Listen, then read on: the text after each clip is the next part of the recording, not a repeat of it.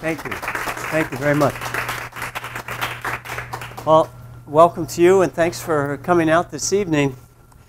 Um, who thinks they can define the word magic in a brief, short sentence? Magic is Something that goes beyond the natural laws. goes beyond the natural laws. Perfect.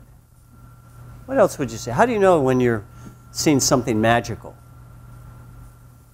It is, pardon me? Amazing. Unbelievable. What would your definition of magic be?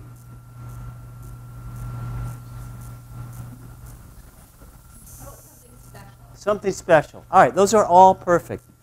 I take this little piece of wood, and how much would you say that weighs? Um, couple of pounds?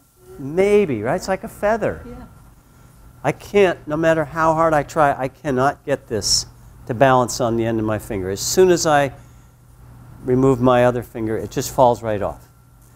Then I take this belt, which is fairly substantial, and um, I put that on, and now it, it's heavier, and now it balances on my finger. And I'll leave it up here. You can all try this at the end if you want and you don't believe it. Um, there aren't any engineers in the audience, are there? Oh, But may I do one thing? yes. He has one of these. Well, if you put it on your finger. Yeah, that's all right. It's No, unbreakable. I didn't, I didn't mean to do that, because sometimes it'll actually stay, even if you push it down a little bit. Let me just. Let me get this won't- centered. it Needs to be shaped a little bit more, that's good. Okay. No, You you go ahead, I'm sorry. Well, anyway, to me, it is magical because it's heavier and now it balances. I'm going to leave this up here so you can try this after, okay? Because I see the look in your eyes. And we start with that because I, I think what we're going to do tonight is, is learn a, bit, a little bit about something magical. And um, hopefully, if I do a good job and Bessie comes through for you, you're going to leave here with a little more optimism, a little more enthusiasm, maybe a renewed sense of I can do this, um, facing some of the challenges in your life, and, uh, and maybe a little more bounce in your step, too. I've got three or four uh, minutes of videos that will show, and then um, tell you a little bit about the book and Bessie's story. But lights, please.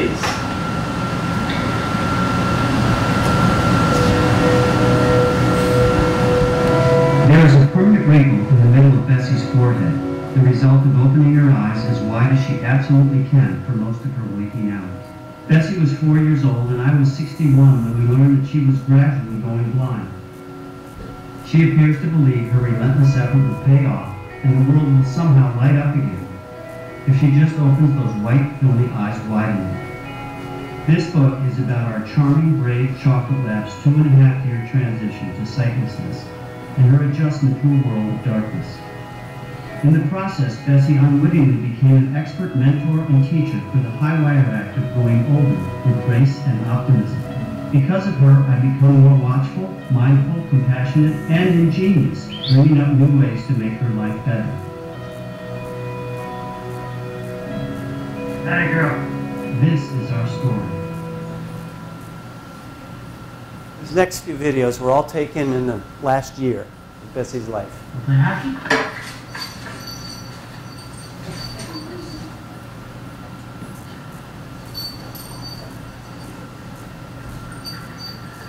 Hockey? Girl.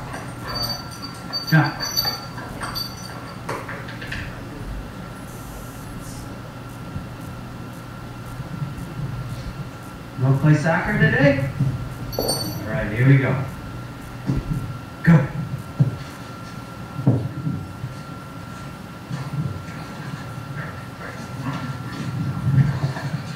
Drop. Sit. One, two, three.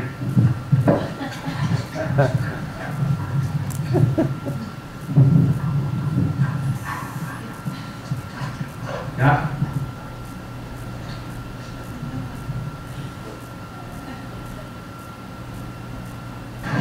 Would you like to go again? Would you like to go again?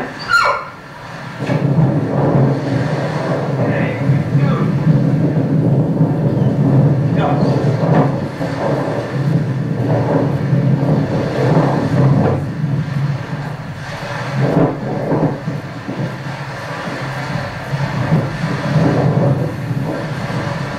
She'll find it eventually.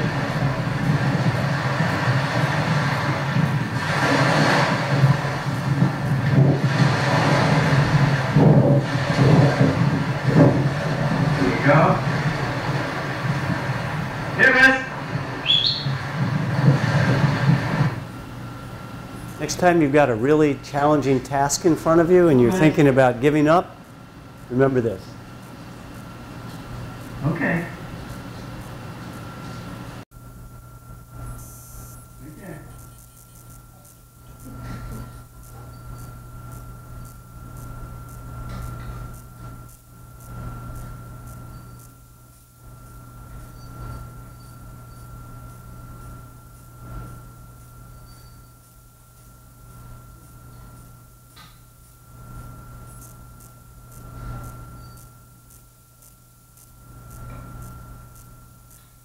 There you go. Come on. Okay.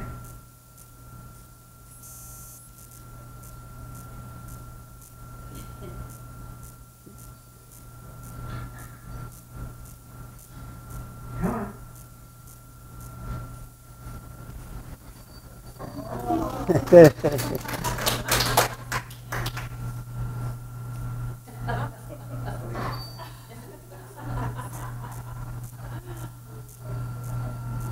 Ash, may we have the lights, please?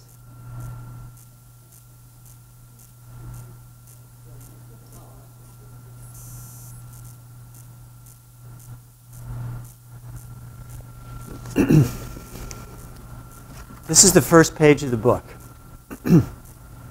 Starts out before we begin. Excuse me. When my wife Ashley and I visited a kennel in a rural New Hampshire town to select a chocolate Labrador puppy, we had some reservations. The parents of the litter were described as healthy, purebred labs, but the mother was mysterious, aloof, and detached, not to mention that her hair was falling out. The father was out of the picture, apparently having disappeared like a deadbeat dad who had slipped out of town before the police arrived. Then the kennel's owner opened a small pen and eight adorable lab puppies poured out, slipping and sliding all over each other like fish from a net, all except one. The last pup peered out at us, inched her way into the sunlight, and parked herself softly on Ashley's feet. That's the day we fell in love with Bessie. She was just seven weeks old, and we already knew we had the perfect dog. This book begins four years later, when Bessie's perfection began rising to new levels. So if, you, if you're a dog owner, you know that seven weeks is a little bit too soon to let a pup leave the mom. That should have been a, a little bell ringing in our ears that maybe there's something wrong here. Uh, but that was the dog, and how could we not take her home, right? Um, interestingly enough, we subsequently learned that of, the nine, of those nine puppies that poured out of the net, except Bess, four of them went blind. So this was uh, a place where they were overbreeding dogs. It's since out of business, which is a good thing. Um, but lucky us, we got Bessie in the process. This is uh, same day. That gives you a sense of just how tiny she was. That's Bess at about maybe 10 weeks, two months maybe. And here she is at one year old, back at the same place where that first picture was taken. If you've ever owned a chocolate lab, this is the classic low IQ, big heart face, right? I don't know much, but I know I love you, and that's what counts. This is Bessie at about two. Eyes are working beautifully, no hint of any blindness in her future. And this is Bess at about three and a half. it was shortly after this picture was taken that we got the diagnosis. And uh, I'm going to go there in the book. What I'm going to try to do tonight is um, take you through this transition from the original diagnosis through the fade to blindness, and then um, a, a couple of excerpts from chapters about Bessie as a blind dog and what we learned. Uh, there are 31 chapters in the book. I'm going to read excerpts from about nine of them. Um, so I'll leave some mystery out there. This chapter is called Time Remaining. And the quote at the beginning, there's a quote at the beginning of each chapter. The afternoon knows what the morning never suspected. Robert Frost. Isn't that beautiful? Turning 61 was a wonderful surprise. Simple pleasures were magnified. I became a better listener. Judgments were forgotten and forgiven, and I talked less because there was really not much point. By 61, a person has experienced most of the personal and universal joys and heartaches life can serve up, either directly or with one degree of separation. By 61, you get it, or you should. There's a faint drumbeat in the room when a person passes 60. It's called TR, time remaining. You realize how quickly time passed between 40 and 60 and understand that by some esoteric law of physics, the next 20 years will be a blur. But even with all this life experience, I'm stunned when Ashley returns from a routine visit to the veterinarian with unsettling news. Our silly four year old Bessie is losing her sight. According to her doctor, this sweet dog will be blind in 12 months. She has something called progressive retinal atrophy, an inherited disease that causes a degeneration of the retinas and results in permanent blindness, and it's untreatable. The doctor speculates that she currently has about 85% of her vision in, in daylight and 50% when it's dark. On walks after sunset, she bumps into things, stumbles occasionally, and takes it slow. I had thought that was just Bessie's style, but now I know better. When the sun comes up, she's fearless and full speed. Yet with each morning walk, I look for a hint of fading glory. Almost subconsciously, I realize Bessie is my GPS for the coming years of advancing age. And that was the day of transition. All of a sudden, my perspective and my connection to Bessie changed. The first four years of her life, we were teaching her and training her how to be a good dog. And then all of a sudden, we switched roles. And she started teaching me and Ashley how to transition from being, I guess, older adults to being, from being middle aged to being older. And I think it, it applies to any age. Um, there are transitions that catch you by surprise, and Bessie became my tutor for that. Any questions about the progressive retinal atrophy? Okay.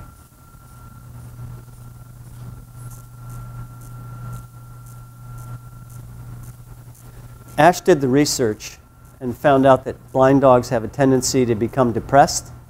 We hadn't seen any evidence of that in Bessie. I frankly I don't think that gene's in her DNA. I think it skipped her.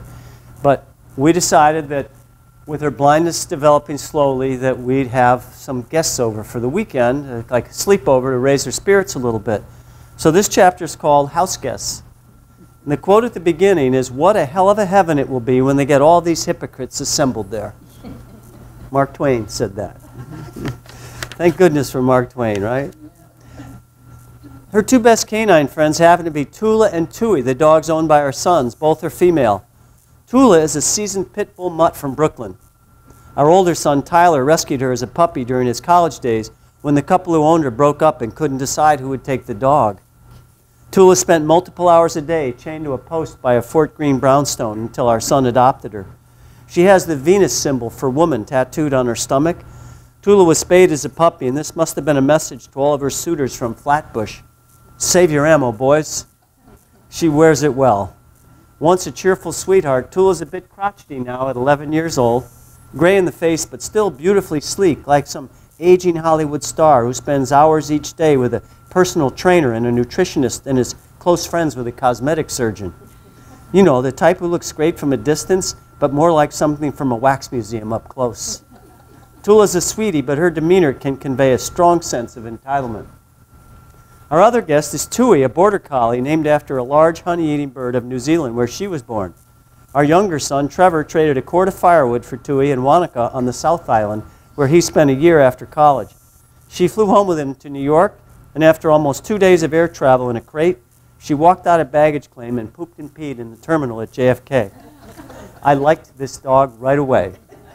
Tui's a genius, bred to herd sheep, hundreds of them, all by herself. If there were colleges for dogs, Tui would get a scholarship to all the Ivies in Stanford. Simply stated, she loves all people and hates all other animals except Bessie. That's because Bessie lets Tui do anything to her, including dragging her around by the scruff of the neck. Sometimes I just have to turn away. Over the weekend, Ashley and I go for long walks with the dogs, wrestle with them, build snowmen, watch football games, take naps, you know, regular January things. And as the hours pass, I realize that Bessie, the youngest, is acting like the oldest. She thoughtfully relents to everything, like a lost breed of politician who knows how to compromise and get along with diverse groups. This trio of dog characters meshes like a three part harmony because Bessie defers. I don't think it's insecurity or lack of confidence that makes Bessie behave this way. She's like a Buddha who's found enlightenment and simply wants others to be happy and content. Here she is at the age of four, losing her eyesight day by day, and these older fools are worrying about who sleeps where and who gets the cookies. Once again, this humble dog shines a bright light on our world from her increasingly dark one. Her message wake up. 99% of the things we do each day are of little or no importance. The only things that really matter are those we do to make life a little better for others. I wish Bessie could look in a mirror and see how beautiful she is. That's not going to happen, but somehow I think she knows she's getting lovelier by the day. You can see it in her eyes. You all figured out who Tula and Tui are. Okay, good. Um, any questions? We're in January now. Next chapter is called Spring Training. And um, we're into April now. Made it through the winter. Um, the quote at the beginning What day is it? It's today, squeaked Piglet. My favorite day, said Pooh. Right? I'm going to read it again. What day is it? It's today, squeaked Piglet. My favorite day, said Pooh. A.A. Milne, of course. To better understand Bessie's plight, I put on sunglasses one dark evening and walked through our backyard. It's frightening, really. The farther I get from familiar objects, the more I bump into things, the harder it is to negotiate my path. I throw a ball into the darkness and can't find it. The urge to remove the sunglasses is overpowering, and it affords me another chance to admire how stoically Bessie is coping. When Bessie comes to me with a ball in her mouth, I'm more likely now to drop what I'm doing and give her what she wants my time. I recall feeling somewhat the same way with our children when they were young and asked me to play catch or go fishing. I knew the day would come when they'd outgrow their interest in being with dad, so I almost always said yes. With Bessie, it's different. Her ability will disappear before her interest fades, and I can only imagine how terribly confusing and heartbreaking that will be for her. So here I am again, always saying yes. I tend to see everyone in my life now as I see Bessie, that is, in the bright, shining light of the moment. The celebration of today is all I can be sure of. Bessie teaches me be where you are. Any questions?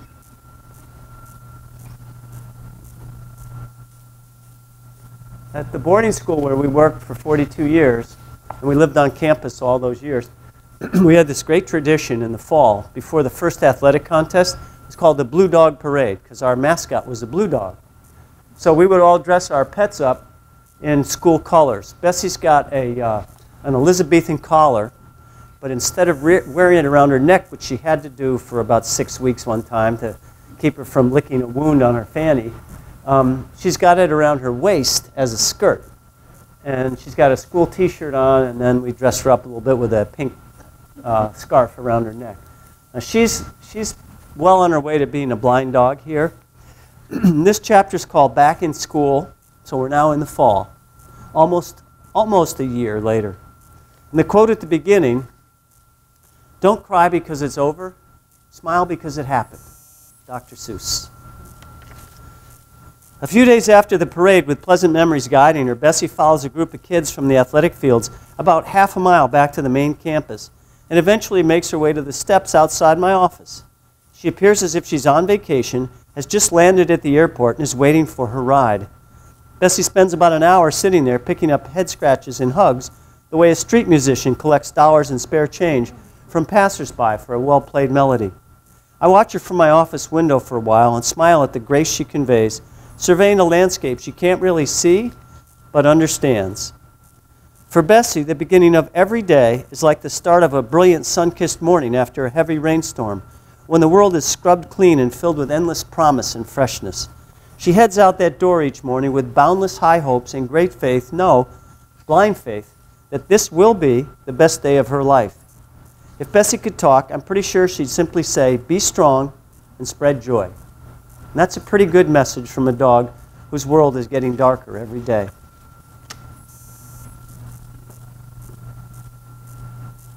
What do you notice about this picture? What kind of stands out? The hockey puck. Right, she's chewed the heck out of this thing. She bites it so hard. Um, yeah, the pupils have dilated completely. This is a bright sunny day on a white ice lake in January or February, and those pupils should be tiny little pinpricks. Instead, they've dilated completely to let as much light as possible in to get to those decaying retinas. And so Bessie's, I think she's about six here, six, maybe a little over six. and this chapter is called Annual Checkup. There are only two forces in the world the sword and the spirit. In the long run, the sword will always be conquered by the spirit. Napoleon Bonaparte said that. Right, makes you shake your head a little. A year ago, we were told that Bessie's vision was about 85% in daylight and 50% in dim light. Now, she perceives about 50% of her world in the sun and more like 10% when it's dark. Now, I'm still playing retrieving games with Bessie, obviously. We still throw and bat and kick and hit balls for her. Um, and um, it's fascinating to watch her play, and we still do that now. Sometimes it takes her a few minutes to track down the ball, but she always finds it. The trouble now is that when she locates the ball and turns around with it in her mouth, she can't see me. Poor thing has found her trophy, but she's a retriever. Finding the prize is only half the process. She knows I'm out there somewhere, so her nose goes up like an antenna. I'm sorry, her nose goes up like a periscope, and her ears perk up like antenna, and she searches. There's a fearlessness in Bessie's spirit. She refuses to give up the game she loves, no matter how difficult or puzzling it becomes. A lot of instinct is at work here, but ample doses of courage, resilience, and defiance are also in play. Bessie and I are performing a delicate balancing act. At what point does this game become a mockery of a great dog's fading glory? At what point does it become more comical than productive, more cruel than pleasant? I take my cue from Bessie. Somehow, this wonderful girl can still speak with her eyes. Based on my voice, she knows where to find me and returns the ball to my feet. She looks at me with a penetrating stare, a haunting stare. And though I know she cannot really see me, her message is clear. Don't you dare stop hitting balls for me, ever, no matter how hopeless I may seem. Bessie reminds me that we are defined more by our spirit and effort than by results. Any questions? Yes? Can I just ask you about Of course. your feelings at this point, knowing that th- there was, there was this an extra, inevitable like progression? Yep. Did you, were you at that point sort of searching for answers, like were you, um, wondering about what to do right now? Or were you researching about what it was gonna be like in the future, or how were you feeling? I didn't do any research. I was just, this was a day to day transition, and I was just living it along with her, um, trying to pick up some of her wisdom, knowing that I would need it. I, I was keeping a diary. It wasn't a book at this time. I'll get to that in a few minutes. It was just a diary that I could go back and look at. Ashley was a little more of a researcher, trying to anticipate what might be happening. I was just watching and recording it uh, with, with admiration for the way Bess was handling it. I'm going to skip the title of this chapter because it gives away the punchline a little bit. Um, but the quote at the beginning is Joy, temperance, and repose. Slam the door on the doctor's nose. Henry Wadsworth Longfellow said that. Most days I'm the first one downstairs in the morning. Sometimes I sneak around quietly like a commando, tiptoe to the mudroom where Bessie sleeps, and stealthily open the door. No matter how silent I try to be, Bessie is always on her feet, nose to the door, looking up with empty eyes that are somehow still filled with expectation. Her rapidly advancing blindness doesn't seem to be eroding her spirit or enthusiasm, and her positive energy is uplifting, like strong coffee on New Year's morning. She behaves as if she believes each day that her vision will return as soon as she steps into the backyard. Sadly, Bessie confirms her blindness each morning when she walks into something like a planter or porch furniture, but she deals with it as a mere inconvenience and heads enthusiastically into the day. Same is true when we let her out in the afternoon or evening. There is a level of energy in Bessie now that we have trouble understanding. She can't wait to get out into the apple orchard that grows beyond the perennial garden behind our house. My initial belief was that the open space of the orchard empowered a feeling of independence in Bessie, that she somehow remembered there was lots of open space back there among the scattered apple trees. I was wrong. Bessie is attracted to the orchard for the alcohol. This cagey, wily six year old lab has figured out somehow that the apples lying on the ground are filled with fermented apple cider. Like an alcoholic on the sly, Bessie slowly and casually saunters into the orchard and then devours the nectar filled fruit. It may be my imagination, but I swear Bessie is catching a buzz before breakfast, and then again in the afternoon, and definitely before dinner. She is self medicating her grief about going blind. I can't say I ever saw Bessie stagger or behave inappropriately, but she sure seemed happier and less concerned during the fall. Eventually, the apples rotted and disappeared into the ground or under the snow, and Bessie got her drinking problem under control. She is selective in her choice of poison. I sometimes hold a glass of wine in her direction and she turns away. So I guess we only have to worry during apple season. What a piece of work this dog is.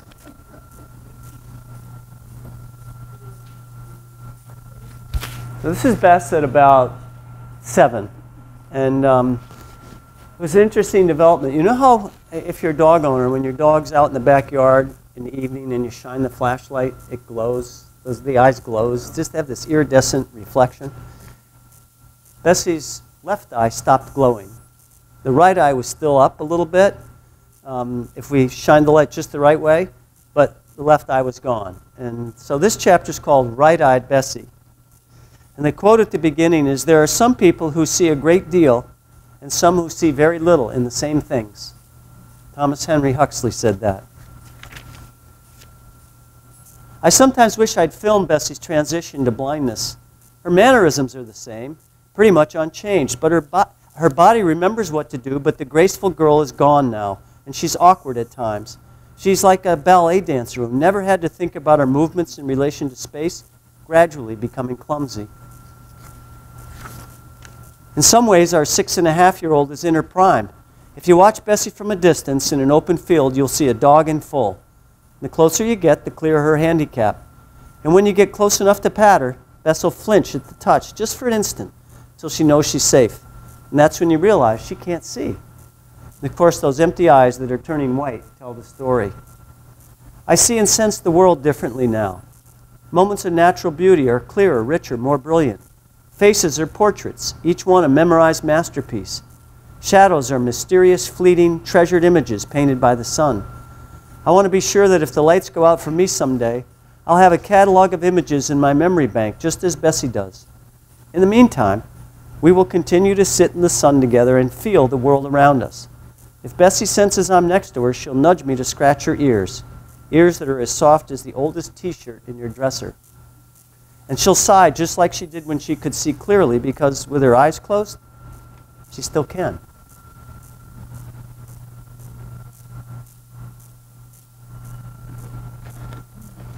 This is Kate. Kate is a four year old close friend of Bessie's. And uh, Kate's dressed up like a veterinarian. Okay, she's got her stethoscope on and her doctor robe, her face mask, and she's checking Bessie's heart rate. I love this picture because if you look up in the top left corner, Bessie's winking at us. Right? I think she is. She's saying, I know Kate's not a real veterinarian, but I'm going to let her go ahead with this anyway because she's having a good time. I'll go along with it. I'm going to skip the title of this chapter um, because it, it will kind of give things away. But the quote at the beginning was written by a young author named Nicole Ray. When Nicole Ray was 27 years old, she went blind suddenly. It wasn't a gradual transition. And, and her quote is When life's got you down, keep your head up. You can't see the ground anyway. Isn't that heroic? Wouldn't you like to meet her? So, Ashley and I were pretty sure Bessie's lights had gone out, but we had no proof of it. Um, going to the doctor with Bessie at this point in her transition was like going with a rock star. The, the clerical staff, the doctors, and the nurses had all watched this blindness unfold over a fairly long period of time, and it wasn't inflicted with malice or ill intent. It was just this is the way Bessie's life unfolded, and she just accepted it with her tail wagging and her ears up. And um, even the most cynical person has to admire that kind of stoicism. So she became the center of attention. Everyone would drop what they're doing and come out and gather around her. It was really kind of interesting. You know, you, you felt special bringing your famous dog to the, to the vet.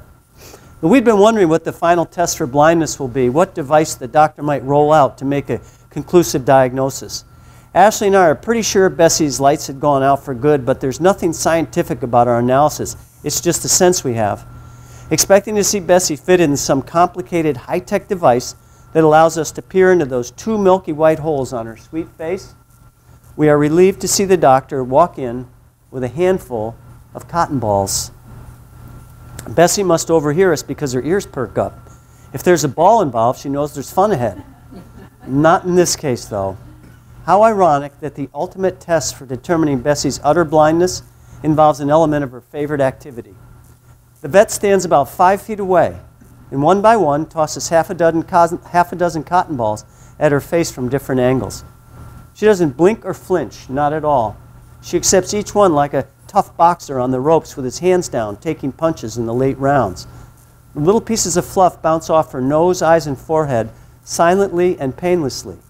But in my mind, each one lands on the floor with a loud crash. The long, slow fade is over. What originally was supposed to take just 12 months has in fact stretched over two and a half years. The tears well up in our eyes as the finality of the journey sinks in, but there are no tears from Bessie. She's sitting on the examination table with her eyes wide open and ears at attention, sensing that someone is throwing mysterious things at her. She remembers that in the past there was a treat at the end of each doctor appointment, and her instincts tell her this visit is winding down. She's even drooling a bit in happy expectation of the cookies that are coming. When something winds down for Bess, that only means something else is winding up. When we get home, she jumps out of the car and begins dancing in circles when Ashley promises her a walk. And off they go with Bessie leading the way, guided by a memory burned into the joyful place in her brain where walks are stored. Yes, off they go across the baseball field onto a path in the woods that Bessie's been walking for seven years. No leash, just a keen sense of where to go based on experience and instinct wrapped up in scents and sounds that keep her on the trail. She is connected to Ashley by some invisible tether of trust. Heaven forbid Bessie stop for a minute doing the things she loves just because of a little complication. I watch her disappear on her walk, embarrassed that I ever complained about anything, and vowing never to do it again, ever. I watch her disappear on her walk, excuse me, embarrassed that I ever complained about anything and vowing never to do it again. Ever. Sorry. Anybody have? Bessie loves her holidays just like the rest of us. Any idea which one this is? She's dressed up in a costume. Halloween, very good. That was uh, uh, last year's costume. this year, I think she was kind of tired of the gray old lady look, so she went with something a little, a little hipper and a little bit younger. It's got black hair now. Um, obviously, you know what this one is. Bess loves a party, right?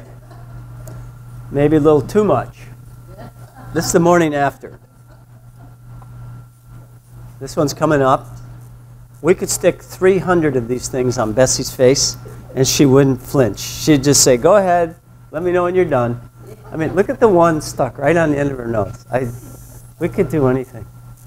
This is, uh, this is her Easter bonnet. That was taken in September. And Bess loves the idea of paddleboarding. We put her on and push her back and forth. And she just sits there and loves the glide. She has a blast. I also take her out on the paddleboard, but uh, I think this is her real favorite. This is the book, obviously. And um, a quick story about how this came about. I wrote this as a diary so that I could look back and get my life lessons um, from Bessie. And I wanted to make sure I didn't forget the things I was learning. So I, let, I kept these on my laptop. Uh, a former student was going through a real rough patch in his life. So I sent him one of the chapters. And um, he wrote back a day or so later, What is this? So I told him the story, and he said, Send me the rest of it, please. So I sent him all 176 pages. Uh, this is a boy who went to our school on financial aid. He came from a great family with little means. Um, he earned a scholarship, a full financial aid package to um, Phillips Exeter out in the seacoast. From there, he earned a scholarship to Cal Berkeley out in the West Coast. Great schools, wonderful young man. Uh, and then he uh, came back to Boston and um, worked for City Year. It's a volunteer uh, group. You go in and work in the inner city schools for a year, kind of mentor the young people, inspire them, show them you can do it. Uh, I did, you can. And, um, and then he went to the Kellogg School of Business at Northwestern on a, on a financial aid package. And now he's managing money for people like Elon Musk and Mark Zuckerberg. So he's in the major leagues in uh, wealth management business. So he said, this needs to be somewhere else other than on your laptop. Um, he said, we're going to make it into a book. And I said, I, I can't do that. And he said, I can. And so he financed it, and we're paying him back now. he said, take your time. I'm in no hurry. Uh, I just, he just wanted to be sure that it got out there. So it's a great story of a student helping a teacher, kind of completing that wonderful circle. If there are any teachers here, are there? Okay, good. Great, great. We go to schools now with Bessie, and we have a blast with the kids. The program's different than this. We don't read as much, a lot more interaction. Um, but I don't know, you can probably pick Bess out. She's right here, right? They cannot get close enough. They want to touch her, get to know her. They've got all kinds of questions for us. Um, and so when we visit schools, we, we try to share three what I think are really important lessons that Bessie helps teach them. The one is everybody in the room has insecurities and weaknesses. I point at the principal. I say, even Mrs. So and so. The kids are like, no way. That's impossible. I said, nope, even she or even he. Um, and I said, kids, don't, don't hide those. That's part of what makes you special, different, unique. That's part of your fuel. Let it be one of the things that, that empowers you, um, makes you stronger. The other thing we share with the kids is asking for help is a sign of strength. Accepting help is a sign of strength. Happiest, most successful people I know are really good at saying, hey, I need some help with this. Or they're also really good when someone says, do you need help? They say, yeah, yes, I do. Um, and we say, if you know someone who needs help and you can't provide it, talk to your teacher or a parent. They'll know who can help your friend. And the last part, I'm going to go back to this picture, is the idea that they cannot get close enough or show any more interest than, than possible in Bessie. If I brought a blind person into the room, or a person in a wheelchair, or someone with an intellectual disability, they'd sit on their hands. They would not know what to say or do. They'd be completely awkward. And so we, our last message for the kids is respond to people with physical or intellectual disabilities or handicaps the same way you do with Bessie. Show your genuine interest, offer assistance, and show affection. And I, I, we tell them, if you do, you're going to find a heaven on earth that you didn't know. It's all around you, but you didn't know it was there. Um, and that's a really important thing for all of us, but especially for kids. Um, to be curious about people like that and talk with them, not to be intimidated. I, we think our message is getting through. This is, uh, we get postcards and, and letters from kids when we visit a school. This came from a fifth grader at the Vilas School in Alstead, New Hampshire. She sent it about a week after we'd been there with a little note. And uh, that was her interpretation of, of the book. Bessie's story, watching the lights go out. Um, we have uh, an affiliation with neads.org. We've connected with them and they've sponsored, not sponsored, but they've sanctioned our book because we donated a portion of the proceeds um, from the book to NEADS. It's a world-class service uh, dog training organization in Princeton, Mass. I mean, this is, these are major league service uh, training dogs. They, they work with wounded vets, blind people, people with autism, um, folks with real special needs. And so they put a pup in the program and named her Bessie. Bessie's Legacy. She flunked out. After a year. She was close, but they have such a high bar in this program that there's one little thing Bessie couldn't do, I guess. We don't know what it was. Um, so they said, Do you want her? And we said, Yeah. and they said, One thing, you can't change your name. So we would have a 10 year old, 10 and a half year old Bessie and a one year old Bessie. And we said, "Mm, I don't think so. I mean, can you imagine that? When you call, Bess, come here. So, because they believe so strongly in the message of Bessie, this is Bessie too. She just started a couple weeks ago. Um, and we're pinning all our hopes on her. we're hoping. This is Bessie at three, before we knew she was going blind. And this is Bessie at 10. What do you see in those? What does that picture, what strikes you about it?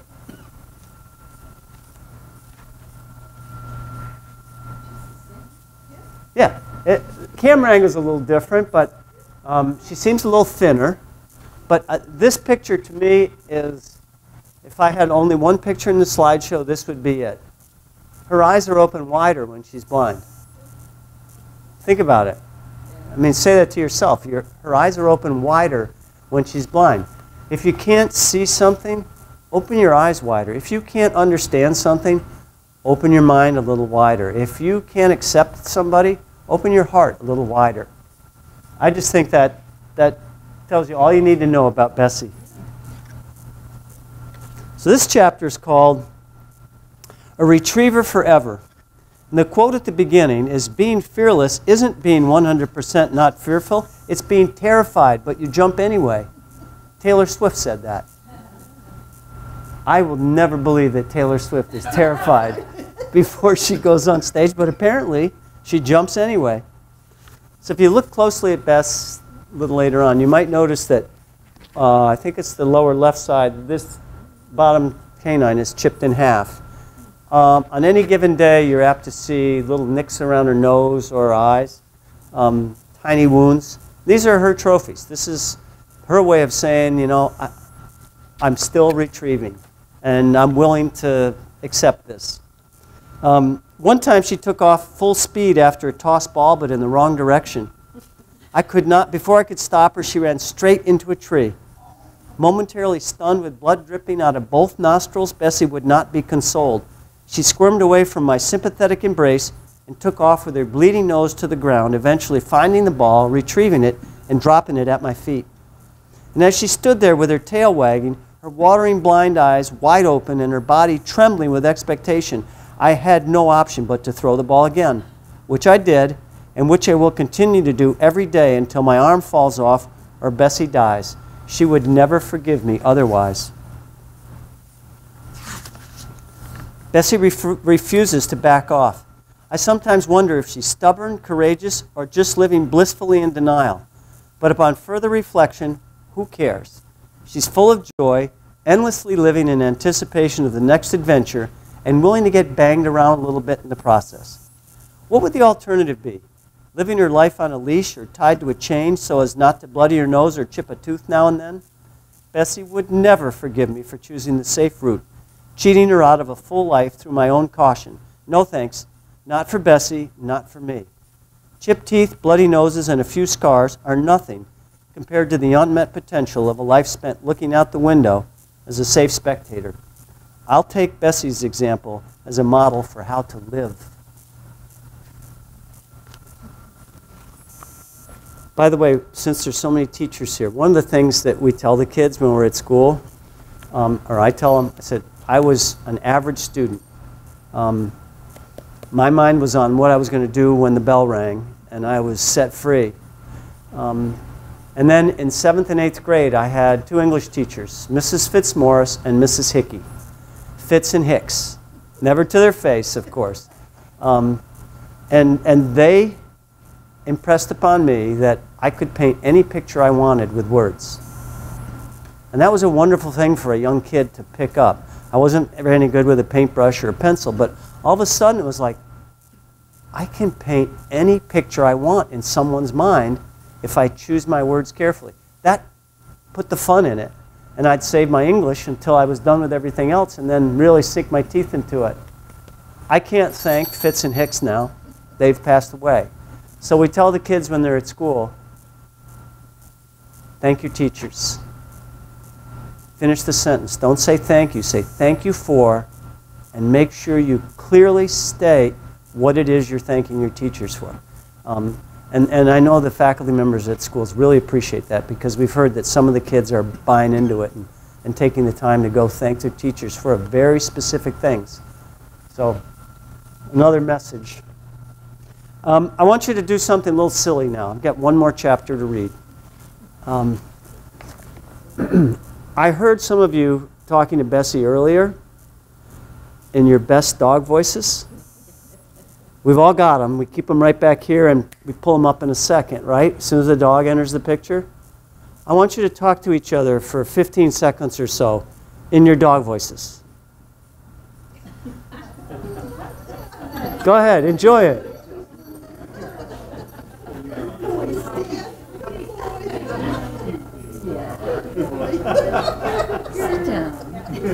Oh, oh, there we go. Hostility there. All right. Okay, good job. I only heard one sit down. I'm not even going to tell you where it came from. But um, you understand the concept of talking to dogs. The, the quote this, of this chapter is It's no coincidence that man's best friend cannot talk. Sometimes, when watching particularly gruff, arrogant, or aggressive people in action, I wonder to myself what their dog voices sound like. What is President Donald Trump's dog voice? Or LeBron James? Or Megyn Kelly's? How about Hillary Clinton's dog voice? Maybe, along with releasing tax returns, candidates for elected office should submit secretly recorded copies of their dog voices as a qualification. It might be interesting. Um, how about these Democratic debates when there's 13, 14 people lined up on the stage?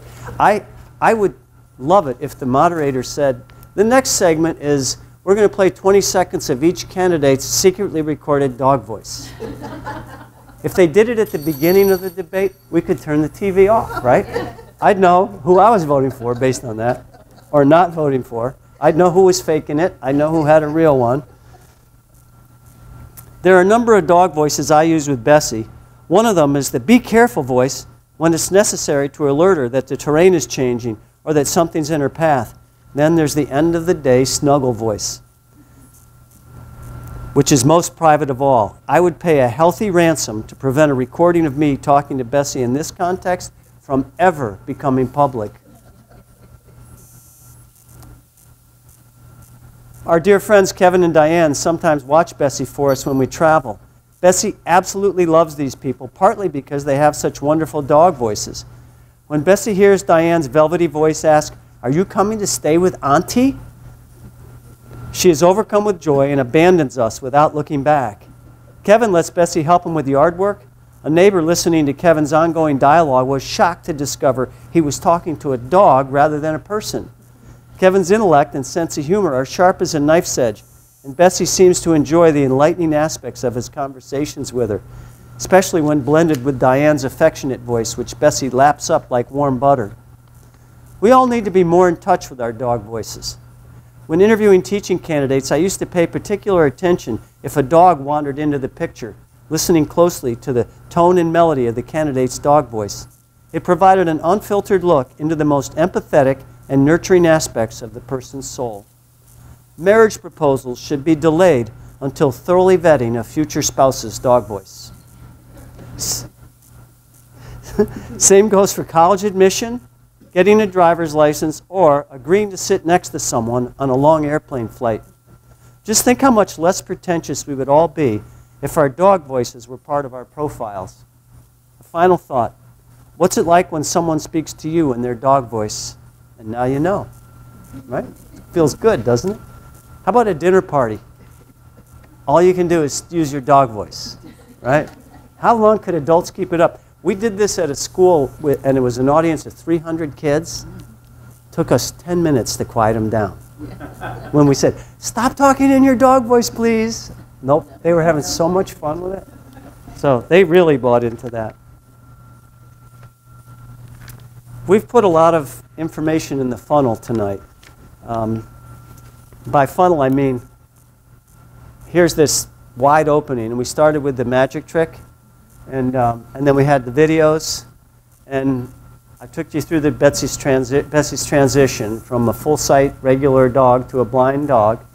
And um, think of that as all stuff in the funnel that's swirling down, swirling down, swirling down. Um, that's too much to remember.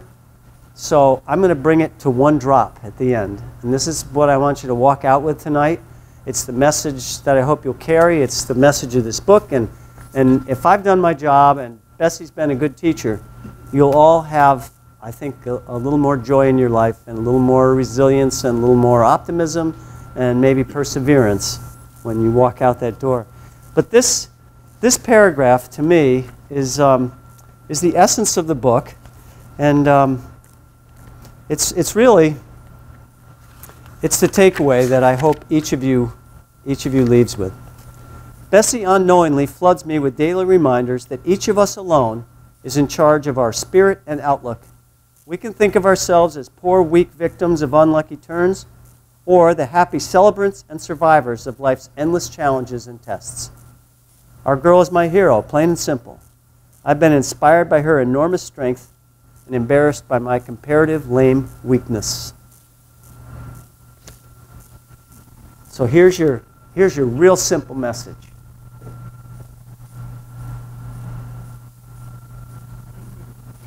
Be like Bessie. Um, we share that with, with the kids at school, and um, we've heard some, from some teachers that it's been a good punchline for them when they're talking to kids or trying to drive a message home, and finally they'll say, Look, just be like Bessie. And the kids will go, I got that. Okay. I can understand that. Be like Bessie. Um, so she's going to perform a little bit. Um, remember the, the video where she snapped the cookie off her nose?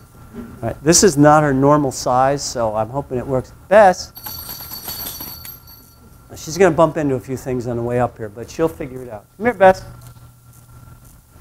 Hey, girl. Come on. Nice job. All right, come here. Come here. Okay, sit.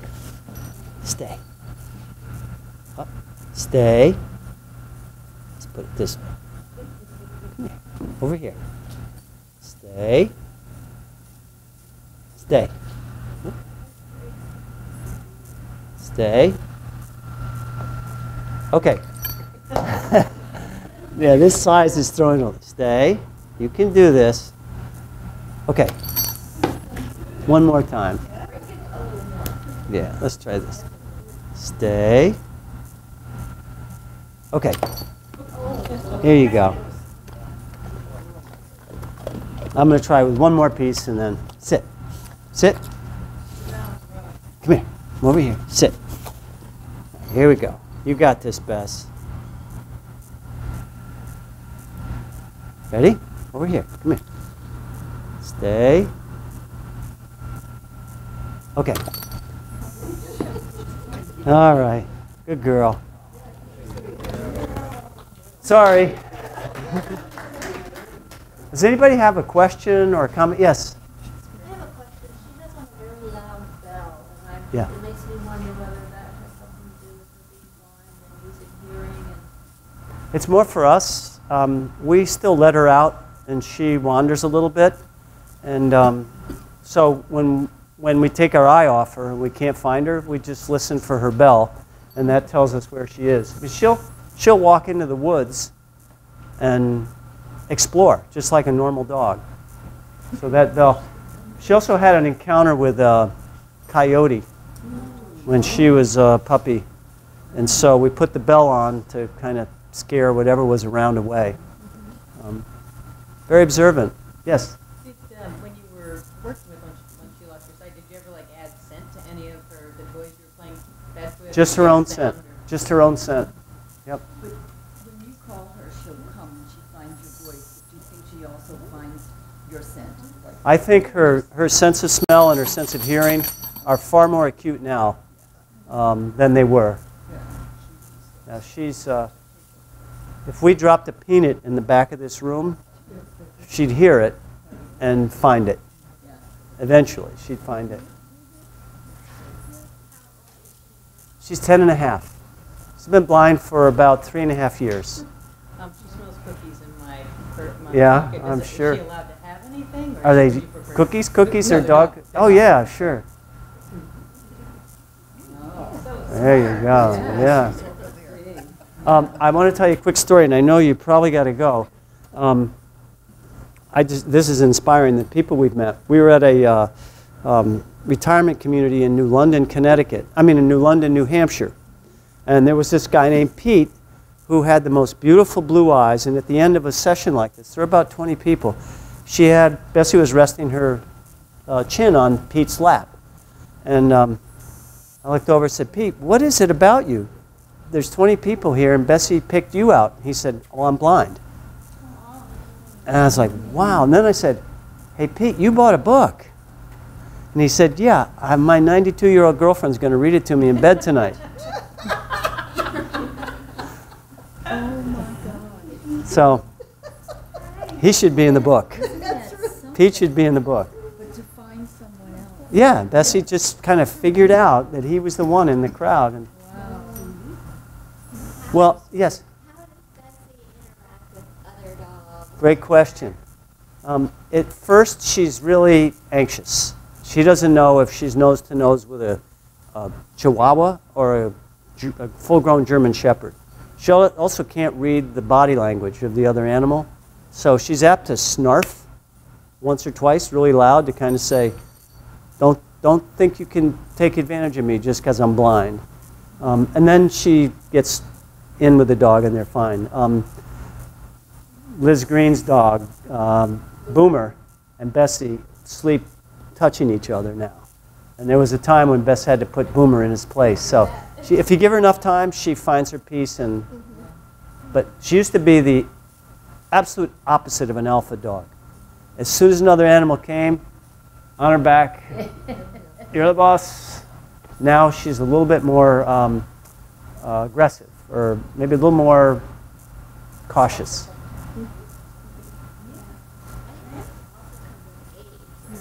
Yeah, it could be. Yeah, we all get a little more cantankerous when we're older. She knows more. Yeah, Put those, um, life lessons up sure. again. Yeah. Do you mind if I No, not at all. If you want, I'll send them to you. There we go. Well, we've got books for sale. Um, $17 for the paperbacks and $22 for the hardcovers. I do take credit cards. Um, I, I, this is just a fair warning. The first time I sold a book with this little square device on my cell phone, it was a hardcover for $22, and I sold it for $2,200. right, me and technology. I hit, so I will show you the screen if you buy one, the credit card. I'll show you the screen before I uh, swipe the card. I got, it was a friend, and she called later that night and said, you know, it's a really good book, but I said, I only have to sell 10 of them.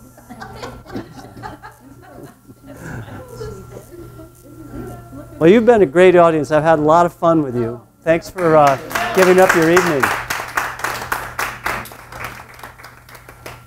And I think we have some chocolate chip cookies left over.